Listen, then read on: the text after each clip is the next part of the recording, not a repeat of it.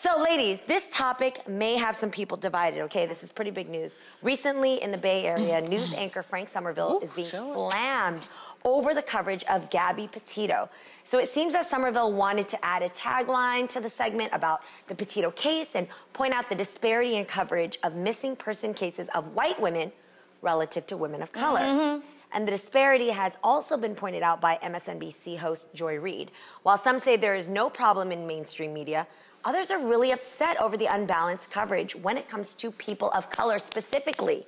Yeah. Now, do you guys feel that the mainstream media provides less coverage to those of color?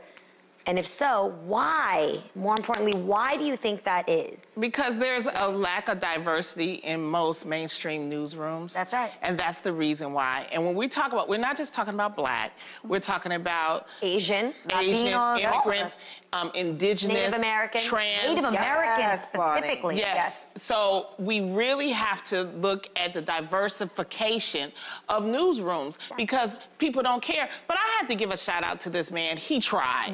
Yeah. I have He give- try. He Yes. tried. He definitely tried. And can I tell you, he has an adopted black daughter. That's what I was gonna say. So I wonder That is makes him his feel more- perception a little bit more. That's It's and exactly- Joy Reid. We want to give a shout out Absolutely. to Joy Yes, Reid. She do. got a lot of heat mm-hmm. because, but this is what happens when when you are a diverse person and you bring something like this. Now it's a national conversation. But that's Right. exactly what you're saying, Loni, is that whoever is coming up with what the news stories are, if they do not relate or identify with that story, they're not going to pick that story up.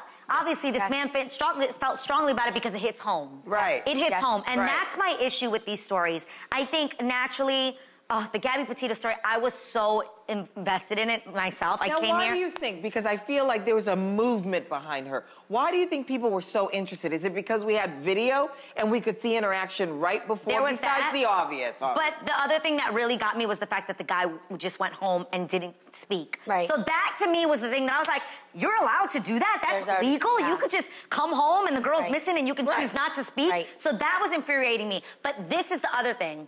I think that it comes off more shocking when something like this happens to what people view as a wholesome, blonde-haired, blue-eyed white girl. Like, how could Yeah. how Right. could this happen to her? Right. You understand? So that's the Then shocking all- part. Versus you in the hood and you go missing. They're like, what'd you expect? Yeah. And I don't like that. And And it be- also sucks. Go ahead. Really quick, it just also sucks. You guys, the news that hits the actual news, like mainstream or local news, Mm-hmm. it's after most of the time, especially these days, that it's gone viral on our Yes. social. Exactly. Yes. So you've got common everyday people who Yeah. are pleading, please see this case, Yes. please. Absolutely. And finally, when we make enough noise, they're like, you know what? Because it's popular and it's what they're talking about, then let's go ahead and cover it. Exactly. Not because they genuinely care about Yeah. this needing person. I believe even stories like Ahmaud Arbery, we only heard that on the mainstream news Right. because there's this video that went viral that was shocking for us to see when Yeah. that had been going on for years and years before that. Well, get murdered. Yes. I actually Yes. watched an entire Dateline speaking specifically about Native American women that go missing